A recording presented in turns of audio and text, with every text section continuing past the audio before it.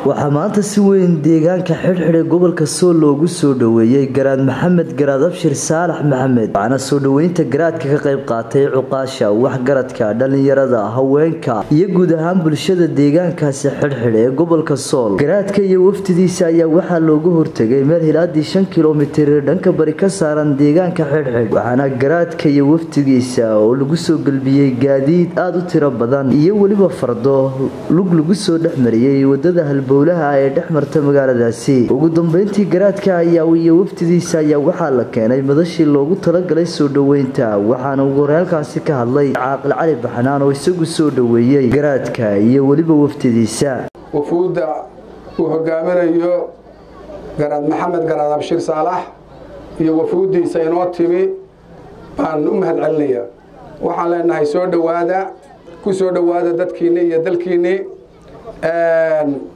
magaaladana waa xidhxidh waa magaalo taariikhi ah waa magaalo ka mujtamac badan magaalooyinka kale hawd ku yaalla. Sidaad muuqaalka ku arkaysaan oo aad u arkaysaan dadka aad u arkaysaan waa magaalooyinka ugu mujtamaca badan. Dhowr magaalo almanayaguun ay ka mid tahay iyo wixii maxaan sheegaya magaalooyinka waaweyn un mooyaane. Inta hawd ku taalla waa magaalada ugu mujtamaca badan dhihinaan idin markhaatiyo oad arkaysaan gacmo furan bayna idinku soo dhoweynayaan rag iyo dumar carruur waayeel odayaal. Gacmo furan bay idinku soo dhoweynayaan soo dhowaada garaad soo dhowow oo soo dhowow oo soo dhowow. Waxay kaloo caan ku tahay xagga fardaha. Bay caan ku tahay magaalada tano garaad kuwii nugaal yimi laamiga saaraa ee laascaanood kugu soo dhoweeyeen hadda kuwan bay ahaayeen hadday nala socday. Taana waad xisaabta ku darsanaysaan falilahi xamdu waxaan leeyahay garaad aada iyo aad karaamada iyo ixtiraamka iyo haddii abaydanka leeyahay aadna siisay iyada oo magaalo aad timaado tii aad ka soo degtay ee garowe danta kugu khasabtay iyo magaaladeeni caasimadeeni sool magaalo kale oo aad ka soo horraysiisay xidhiidh ayn jirin. Dee taana waa fadli ilaahay. Iyo haddii abaydanka leeyahay dheeraad iyo qaabilaad uu garaadku ina soo qaabilay taana ha la ogaado ree xidho. Taana ha la ogaado arrintaa iyada ah garaadka ma lagu hadnaqaya farxad weyn bay noo tahay inay maanta inala joogaan garaad maxamed garaad abshir saalax iyo wafdidii uu hogaaminayay isagoon meel u baydhin inay xidhxidh ugu soo horreeyeen. Farxad weyn bay noo tahay. Alxamdulilahi rabbilcaalamiin maasha allah. Marka xiga waa idin soo marka xiga annana waxaanu idinku salaamaynaa salaanta islaamka. Assalaamu calaykum waraxmatullahi wabarakaatu iyada ayaannu idinku soo dhowaynaynaa. Qalbi furan baannu idinku soo dhowaynaynaa. Kalgacal baannu idinku soo dhowaynaynaa. Inaannu isgarab iskiin garab taagno oo hawsha aynu haddii door door weyn ka qaadanno baanu baannu idinku soo dhowaynaynaa. Intaasina waa intaa. Wax badan baannu garaad hawshaada u oomanayn lagu sugayey laguu toogahayey ilaahay maanta ka dhigay maasha allah maasha allah taana ilaahay baynu ugu mahadnaqaynaa. Waxaan kaloo intaa ku darayaa mar haddaad ku soo biirtay golihii dhaqanka ee dhulbahante in lagula shaqeeyo inaannu iskaa garab taagno in haddii ilaahay idmaayo meeshii bannaan baanoo jilayd ma ayno ku tash oo sidaa ku calooleega laabta geli madsiid waa lagu garab qabanayaa baalasha la socday garaad maxamed garaad abshir. Caaqil saalax maxamed eena soo inoo yimi ilaahay inoo keenay dadweynaha waxaan u sheegayaa garaadku inagama maqnayn waa inoo maqnaa garaad maxamed waa inoo maqnaa inagama maqnayn. Inana waa sugaynay.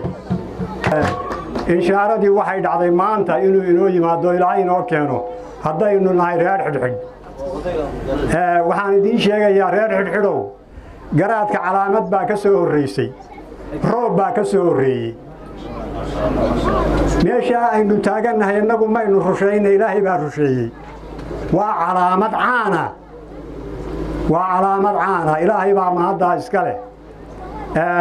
Intaa waxaan ku darayaa dee waa inoo dambaysaa tijaaradii caana shubkii boqortooyadii golihii ballaadhnaa waa inoo dambeeyaa maanta xaaladeennu waa un booqasho. Aad iyo aad waxaan idinka mahad soo dhowaynteenna qiimaha leh iyo wakhtiga dheer ee aad taagnaydeen bacadka daahitaankana waa idinka raaligelinaynaa roob baan helay saaka. Sidaas ayaan ku soo yaro habsaannay markaa aad baan idinka raaligelinaya. Runtii xidhxidh waxaan islahaa fikradda aan ka haystay inkastoo aan mari jiray oo aanan mar keliya ku degin waxaan u haystay dee meel yar. Markii aan arkay dadkan faraha badan waxaan is yidhi tolow dadkuma meelo kale laga soo ururiyey laakiin waxaan arkay ciyaalka yararkaa faraha badanee dee ciyaalka meesha lagu dhalay. Sidaasaan ku xaqiiqsaday inay yihiin reer reer xidhidh intaa iyo mahadcelintaa kadib socodka garaadku horta markii hore daahitaankii hore dhowr goor baad ogtihiin inuu dib u dhacay.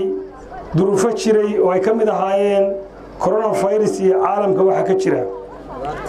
Muxuu ahaayey saamaha ilaahay baa qoray hadda ayuu noo yimid.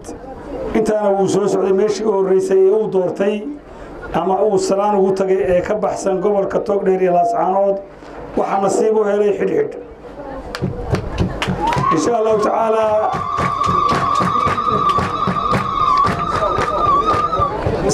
saaad ogtihiinba waxaa soo dhow caana shubkii garaadka oo ku beegan labiyo labaatanka bisha insha allahu tacaala. Khamiis marka waxaan rajaynaynaa soo dhoweyntiinaas inaad kaga mid noogu soo dari doontaan insha allahu tacaala ka soo qaybgalayaasha ka soo qaybgeli doona caleema shubka caana shubka iyo caleemasaarka garaadka insha allahu tacala labiyo labaatanka bisha garaadku wuxuu mari doonaa deegaamada dhammaan meelahan ka dhow ayuu mari doonaa insha allahu tacaala dhanka kale waxaa isaguna halkaasi ka hadlay xildhibaan faarax sulub oo ka mid ah xildhibaanada golaha baarlamanka puntland waxaana isaguna uu si mug iyo miisaan lagu soo dhoweeyey garaad maxamed garaad abshir saalax. Ugu horeysa waxaanu soo dhoweynaynaa garaad maxamed garaad abshir caaqil saalax iyo wafuudda uu hogaaminayo oo naga soo nooga timi gobolka sool magaalada laascaanood bal marka horeysa kaliya laa baan ku soo dhaweynaynaa waxaan ku soo dhaweynaynaa xirxir ku soo dhowaada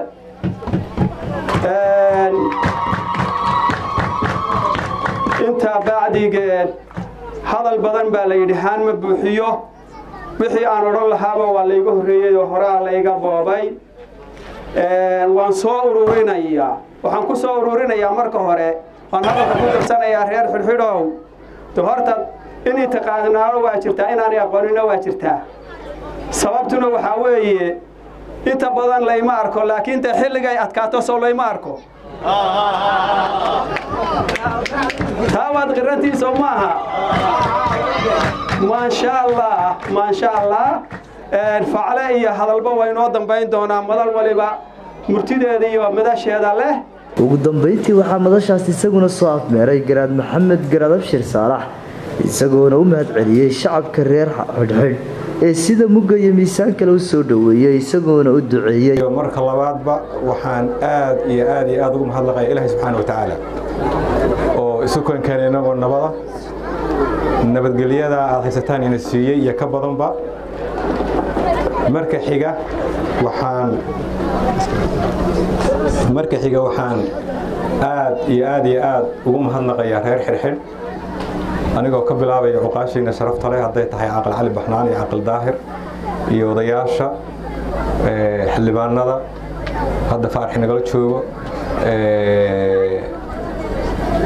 akhyaarta kale dhallinyarada gabdhaha sharafta leh. Ummadda mujtamaca muslimiinta ah waxaa lagu yaqaanaa astaano gaara astaano gaaraa lagu yaqaana annagu markaanu qurbaha joogno astaamaha ugu waaweyn waxaa ka mid a xijaabka marka dadka saa u asturan xijaaban waxay ka turjumaysaa inay marka horeba ilaahay subxaana wa tacaala ixtiraameen. Qofkuna wuxuu ixtiraam leeyahay markuu ixtiraamo ilaahay iyo rasuulka iyo wixii ayagu ixtiraameen. Marka gabdhaha aad baan ugu mahadnaqayaa soo dhoweynta aynu soo dhoweeyeen iyo xijaabka iyo khayrka ka muuqda hadal badan ba idin maayo reer xexidhow waxaan horta jacaylka laydin jecel yahay waa mid kasbateen oo aad ku kasbateen tolliimada aad isku haysaan. Dadkiina wada degan oo kii aad aragtaaba kii kale yahay. Nabadgelyadan ilaahay idinku irsiqay isjacaylkiinna iyo walaaltinimadiinna darteed baad ku mahadsantihiin dadku idinku jecel yahay waxaa kale oo deegaanka dadku ku jecel yahay sida quruxda badan ee ilaahay subxaana wa tacaala uu ku manaystay meel looguba talagalay deegaan haddeerna ilaahay idinku daray biyo hadday tahay riigagan ilaahay idinku mataqaanaa idin siiyey hadday tahay barkadaha hadday tahay roobabkan sida isdabajooga ah sanadihii ugu dambeeyey ilahay inoogu shubay.